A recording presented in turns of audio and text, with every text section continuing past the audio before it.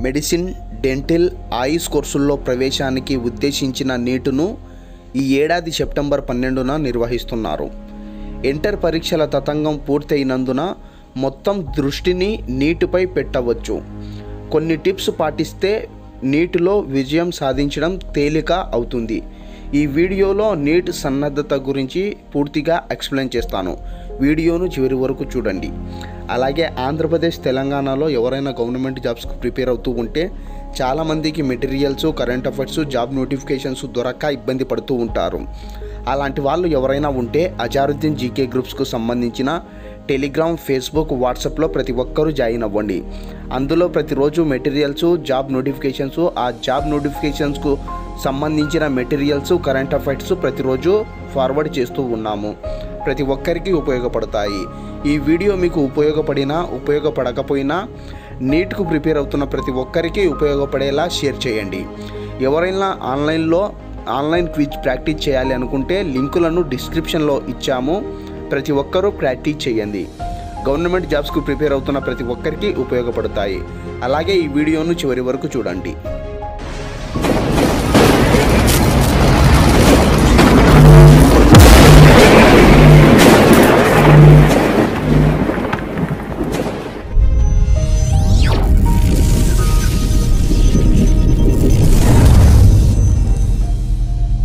సమయం ఉన్నందున వీలైనన్ని చాప్టర్ వైజ్ మోడల్ పేపర్లను గ్రాండ్ టెస్ట్లను బాగా ప్రాక్టీస్ చేస్తే మంచిది. ఫలితంగా సమయపాలన ఓఎంఆర్ షీట్లో బబ్లింగ్ ప్రాక్టీస్ అవుతుంది. నిర్దేశిత సమయం పెట్టుకొని ఒక మోడల్ పేపర్ చేయండి. స్వయం విశ్లేషణతో బలబలాలను ఎప్పటికప్పుడు బేరీజ్ చేసుకోవాలి. అలాగే తెలియని అవగాహన లేని ప్రశ్నలను సంబంధిత సబ్జెక్టు లెక్చరర్లతో చర్చించి మీ డౌట్లను క్లారిఫై చేసుకోవడం మంచిది. జువాలజీ. నీట్ పేపర్లో జువాలజీ నుంచి నలభై నుంచి నలభై ఐదు ప్రశ్నలు ఉంటాయి. నీట్లో నెగిటివ్ మార్కుల దృష్ట్యా అవగాహన లేని ప్రశ్నలను వదిలివేయడం మంచిది. ఎన్సీఈఆర్టీ పుస్తకాల్లో చాప్టర్ చివరిలోని ప్రశ్నలకు సమాధానాలను పాయింట్ వైజ్ రాసుకోవాలి. చాప్టర్ చివర ఉన్న సమ్మరిని చదువుకోవాలి. నీట్ పేపర్లో చాప్టర్ల చివర ఉన్న మోడల్ ప్రశ్నల నుంచి ఫ్రేమ్ చేస్తున్నందున ఉపయుక్తంగా ఉంటుంది. అలాగే బయాలజీ ఎగ్జాంపులర్లోని ప్రశ్నలను ప్రాక్టీస్ చేయాలి. నీటిలో ఎక్కువ ప్రశ్నలు వీటిని ఆధారంగా చేసుకొని ఇస్తున్నారు. క్లాసులో రాసుకున్న రన్నింగ్ నోట్స్ ఫినాన్సిన్స్పై ఎక్కువ దృష్టి సాధించాలి. నీట్ ఆబ్జెక్టివ్ బేస్డ్ టెస్ట్ కాబట్టి పాజిటివ్గా మీ ప్రిపరేషన్ ఉండాలి. జువాలజీకి సంబంధించి ఎక్కువ మెమొరీ బేస్డ్ కంటెంట్ కనుక వీలైనన్ని ఎక్కువసార్లు దృష్టి నిలిపి ప్రిపేర్ అవుతే విజయం మీదే. నీట్ జాతీయ స్థాయిలో జరిగే పరీక్ష. మొత్తం బయాలజీలో తొంభై ప్రశ్నలు గాను బోటనీలో నలభై ఐదు ప్రశ్నల కంటే ఎక్కువగా వస్తాయి. ప్రాక్టికల్స్ నుంచి కూడా ప్రశ్నలు నీటిలో రావటానికి అవకాశం ఉంది. అలాగే బయాలజీలో ఎక్కువ మార్కులు స్కోర్ చేయవచ్చు. నీటికి సంబంధించి బేసిక్స్ ఎనిమిది తొమ్మిది పది తరగతుల పుస్తకాల్లో కూడా ఉంటుంది. నీటిలో ప్రాధాన్యమున్న చాప్టర్లకు అధిక ప్రాముఖ్యం ఇవ్వాలి. నీట్ పరీక్షలో పూర్తిగా రాని ప్రశ్నలను వదిలివేయడం మంచిది. ముఖ్యంగా ఎన్సీఈఆర్టీ పుస్తకాలను చదువుకొని ప్రిపేర్ అవుతే మంచిది. Biological classification sexual reproduction in flowering plants cell the unity of life biomolecules cell cycle and cell division photosynthesis in higher plants respiration in plants genetics molecular basics of inheritance biotechnology చాప్టర్లపై పట్టు సాధించాల్సి ఉంటుంది. Physics. మొదటి సంవత్సరం సిలబస్లో ద్వితీయ చలనం Newton గమన నియమాలలో స్థానభ్రంశం సాపేక్ష వేగం ప్రక్షేపకం వంటి వస్తువుల గమనాన్ని తెలియజేసే సందర్భాలను అధ్యయనం చేయాలి. వీటిపై జామితీయ ఆధార ప్రశ్నలు ఉంటాయి. ఉష్ణం హైడ్రోస్టాటిక్స్ వంటి చాప్టర్లలో థియరీ ప్రశ్నలు ఉంటాయి. సదిశలలో బృందు వస్త్రలబ్ధాలను వివిధ వస్తువుల అభిఘాతాలను ఘర్షణలను పని సామర్థ్యం శక్తిలో అధ్యయనం చేయాలి. ద్రవ్యవేగ నిత్యత్వ నియమము శక్తి నిత్యత్వ నియమము ఏ విధంగా ఉపయోగపడతాయో తెలుసుకోవాలి. బ్రహ్మణ చలనంలో జడత్వ భ్రామకం ద్రవ్యరాశి కేంద్రకానికి సంబంధించిన ప్రశ్నలకు ప్రాధాన్యం ఉంటుంది.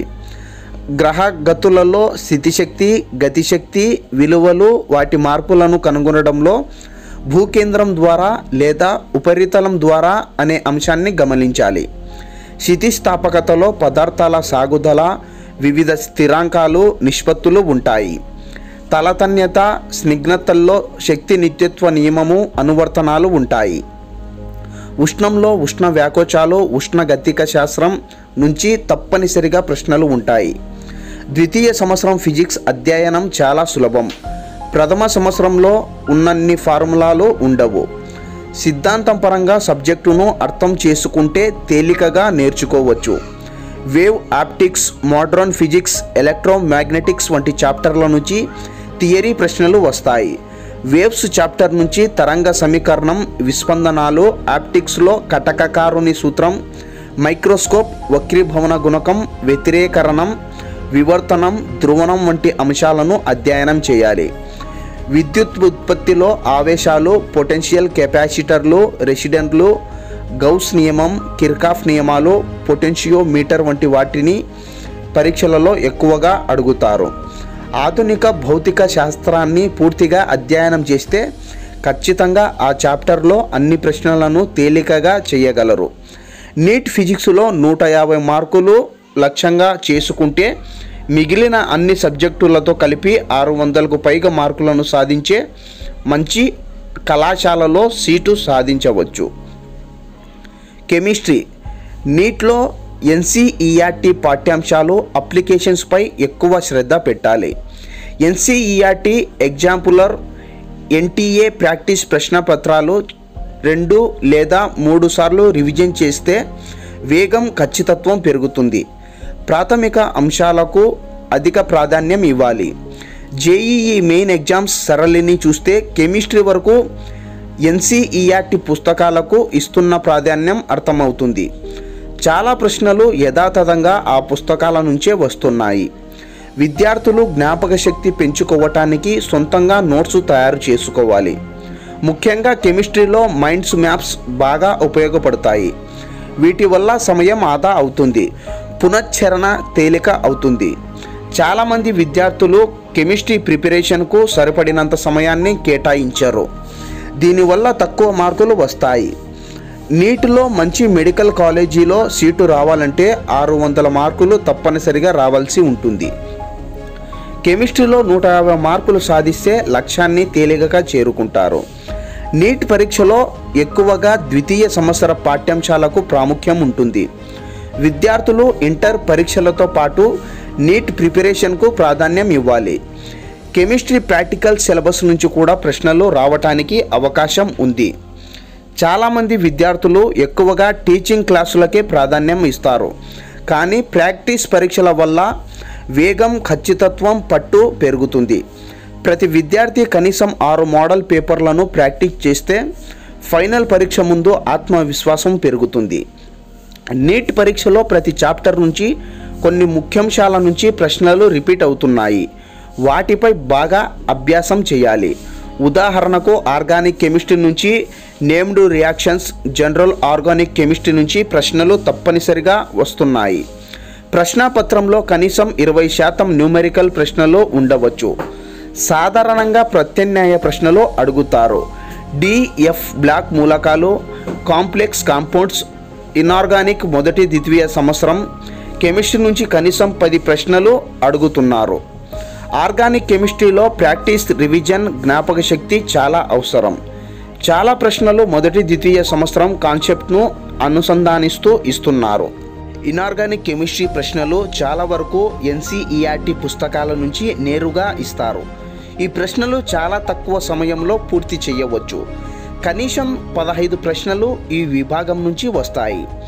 చాలా వరకు మెమొరీ బేస్డ్ ప్రశ్నలు అడుగుతారు.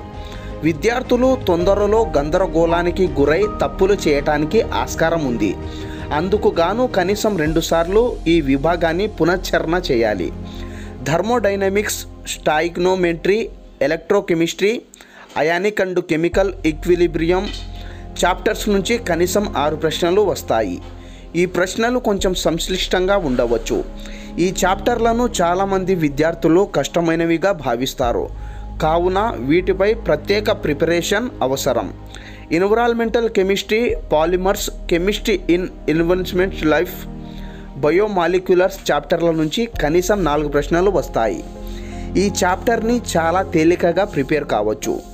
ఈ చాప్టర్ల కోసం ఎన్సీఈఆర్టీ పుస్తకాలకు ప్రాధాన్యం ఇవ్వాలి. అలాగే పీరియాడిక్ టేబుల్ కెమికల్ బాండింగ్ గ్రూప్ల నుంచి చాలా సులువైన ప్రశ్నలు వస్తాయి. మూడు గంటల పరీక్ష సమయంలో బయాలజీ కెమిస్ట్రీ విభాగాలను రెండు గంటల సమయంలోపే పూర్తి చేయాలి. పరీక్ష మొదటి దశలో అన్ని సబ్జెక్టుల్లోని తేలికపాటి ప్రశ్నలు చూడగానే సమాధానాన్ని గుర్తించగలిగే వాటిని పూర్తి చేయాలి. దీనివల్ల సమయం ఆదా అవుతుంది. మిగిలిన ప్రశ్నలకు ఆత్మవిశ్వాసంతో రాయాలి. ఈ విధంగా మీరు ప్రాక్టీస్ చేస్తే ఖచ్చితంగా మీరు నీట్లో మంచి ర్యాంకును సాధించి మంచి యూనివర్సిటీలో సీట్స్ సాధించవచ్చు. నా ఎక్స్ప్లెనేషన్ మీకు నచ్చినట్టయితే లైక్ చేయండి షేర్ చేయండి. ఆంధ్రప్రదేశ్ తెలంగాణలో విడుదలవుతున్న నోటిఫికేషన్స్ సెంట్రల్లో విడుదలవుతున్న నోటిఫికేషన్ల గురించి తెలుసుకోవటానికి మెటీరియల్స్ గురించి పొందటానికి ఇప్పుడే మా ఛానల్ను సబ్స్క్రైబ్ చేసుకోండి. Thanks for watching